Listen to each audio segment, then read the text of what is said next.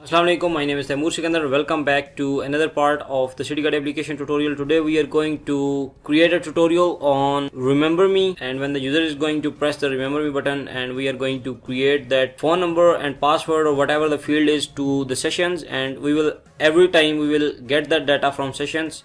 So let's run our application and after this click on this plus icon and go for the login currently as this is the first time we never created session before so you can see everything is empty. We have to enter the phone number we have to enter the password. So let's enter some phone number here. Let's just add a password here. Click on this remember me button and click login. Checking data with the firebase and we are redirected to the next screen or whatever. Uh, basically user is logged in now to the system. Let's just close it and rerun the application now basically when we are going to click on this login uh, we should have to get that specific phone number and password set in that field already. So we just have to press this login button this time. And we should be redirected. Yes we are redirected. We have not entered anything. So this is what we are going to create in this tutorial. So let's get started.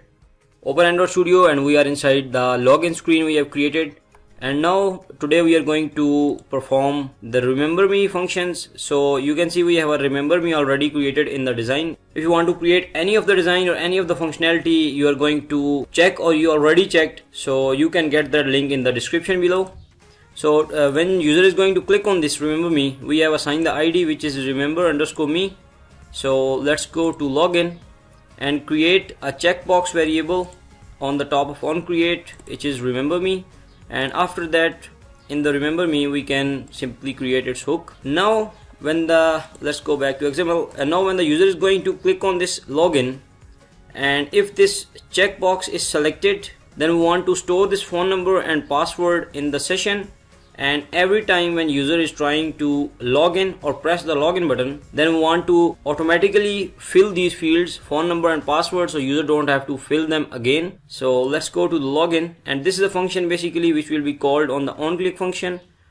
After checking the internet connection it should be on and the fields are valid. Uh, after then we will get all the fields in here in the strings so when, once we get all these fields, before going to check the data uh, in the Firebase, we will add a check here that if remember me dot is checked whatever is stored in phone number and password we want to store that in session. Before going to add anything into the session first we need to create a session. So uh, if you guys are following my previous tutorial which is about the session manager we have created this class which is basically a session manager class inside this databases folder. And we have created shared preferences editor and the context from which activity is calling this session. And then we have the variables login and bunch of other variables to be called publicly from other activities. Okay now in here you can see the session is only uh, if we are going to create this class again which is session manager or java it is not going to create another session because we statically defined session name which is user login session. So we cannot create another session in this variable. Uh, either we have to create a new class uh, which contain all these functionalities or we can update this class a bit more and we can use the same class but we will add our own functionality. So what if we create global variable with session names? Let's say we need two sessions. So we will make sure that these are public because we need to pass these session names from other activities. So we will write public static so they cannot be changed and they should be final and in a string. So let's just name it session underscore. The first session name is user session. And as we are passing string here we need to define the string name. So we will just copy it and paste it here so this is the first session when the user is going to publicly access this variable from outside this class and pass this session in the context uh, in the sorry constructor. Then we will receive it like string session name and instead of this variable we will simply pass session name here. So by this way we again know that if user is going to pass this we we will understand that okay user is trying to access the user session and if press Ctrl plus D to duplicate and change this session to remember me remember me session. And let's just change its name to to remember me. So for now in here you can see we are passing the session. Uh, when the user is going to call this class session manager he should have to pass the context previously which is the activity name dot this. But now we are asking the user to pass the session name as well which user can get by using session manager dot using any of these names. So these names should be same. Okay now we know know that which session is going to be created each time. Uh, but we want to create a session like we have create login session. So let's just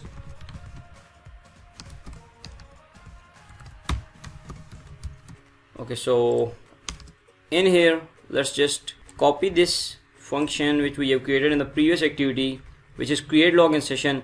Again if you have not watched yet the previous tutorial uh, this time we only need to store phone number and password because in the session we don't have anything else. The only uh, we have is a phone number and password. Uh, but we are not going to update these variables because these are already stored. If we are going to add anything in these variables then they are going to be updated instead of creating a new session.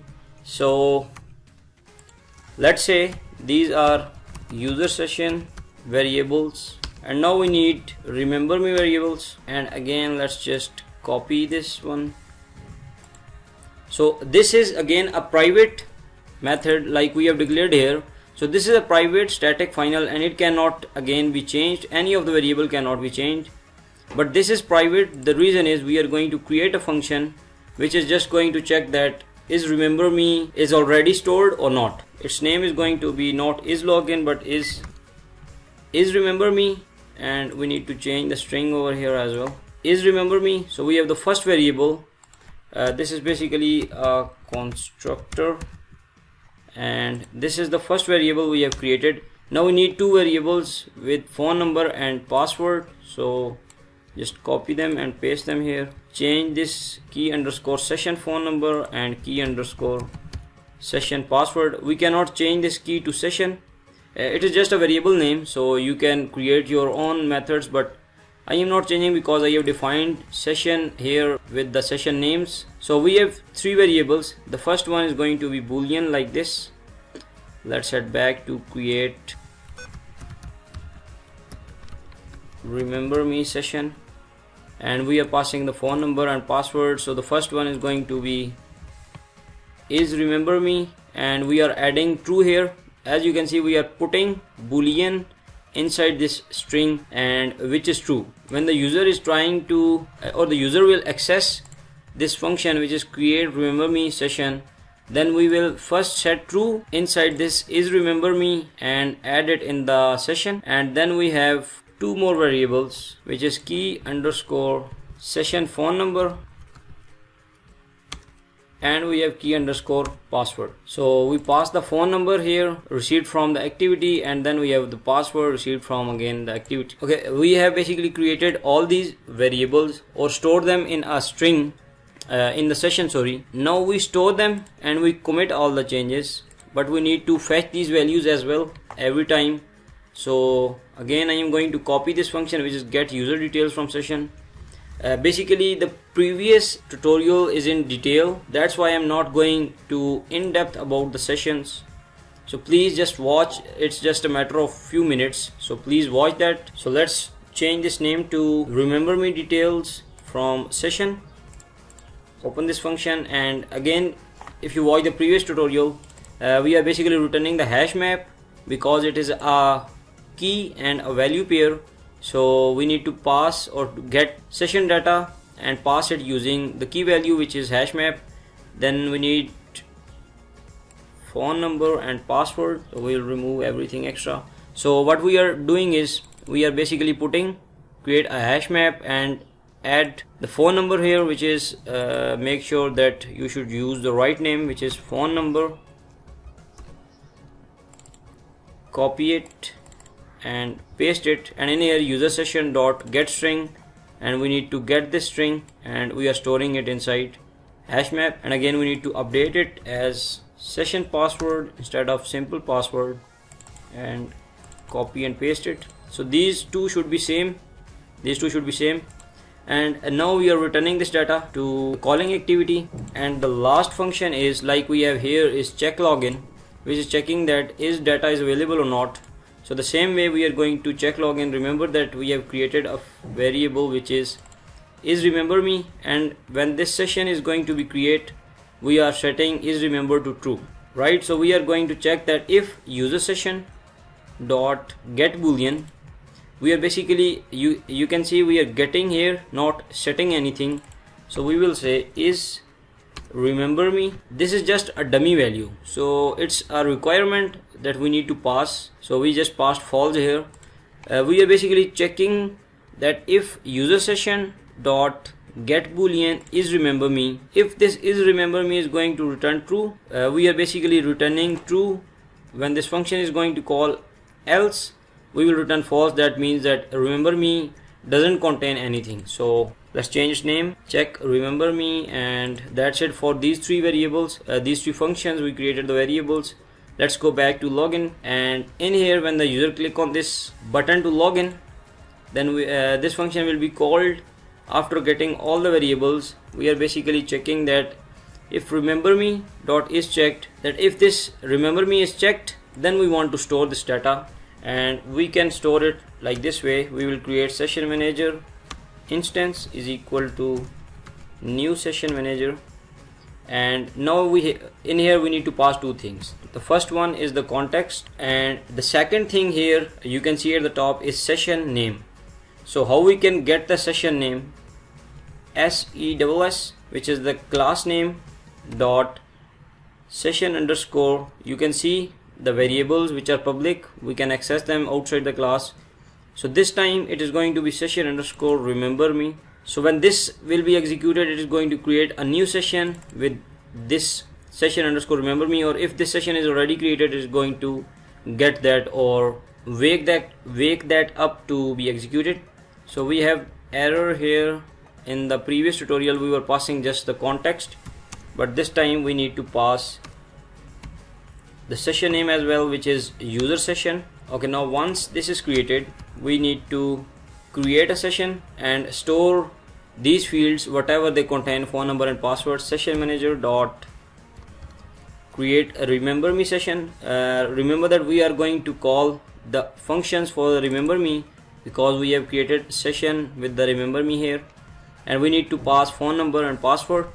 So we have phone number and also we have password so uh, make sure that you do not pass complete phone number which contains country code picker plus get full number etc because we are just storing phone number and password and in here we are going to create or to get the values from the session.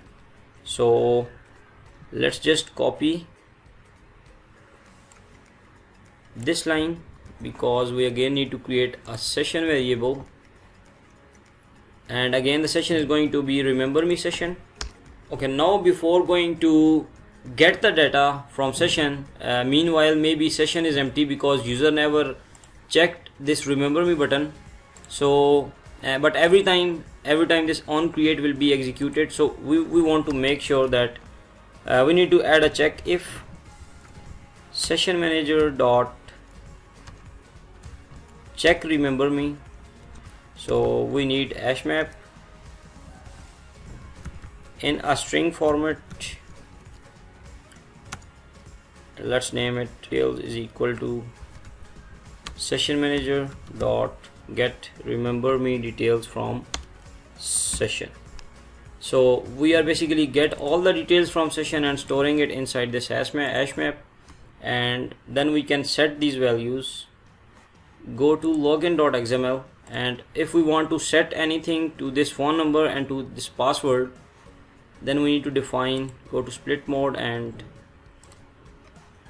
inside this text input layout uh, as we are using the id with the text input layout not with the text input edit text so we cannot set anything to this layout using this specific id so we need to define id over here so we have created their hooks. Now inside this if we are going to set phone number dot edit text dot set text and we will get the phone number from session by calling remember me details which is this hash map which contains everything dot get. And now we need to call a pass string here which is the key which is going to fetch that data so we can get it session manager dot key underscore session phone number which was the public. So control D this time it's password edit text dot set text and we will get session password. And we set it on this uh, on these fields. So when this activity is going to be executed every time if the session is created it is going to get the detail whatever is inside this phone number and password and update it. So let's try to run our application okay so our application is running. After splash screen click on the plus sign and then click on the login. The first time because this is the first time we never created a session. You can see nothing has uh, appeared or set by default. So let's enter the phone number and a password. Uh, now we have data. We check the remember me click login. Checking the database and this means that session should be created. We redirect it to another screen and user uh, this means user is logged in. So let's just close this city guide application and rerun it. And now click on this plus again. Go for the login. And you can see I did nothing but my phone number and password is by default added by the session so let's again destroy it. Last time run it again. It is running in a flow nothing edited. Click on this plus icon go for the login and again you can see it is added. So this was what we were going to create and now we have created it successfully. If you learned something please like the video and if you are new to this channel please subscribe it because more amazing things are coming. Uh, keep following the city guide application and you can get all the codes all the links from the description below. So thank you for watching take care. Allah hafiz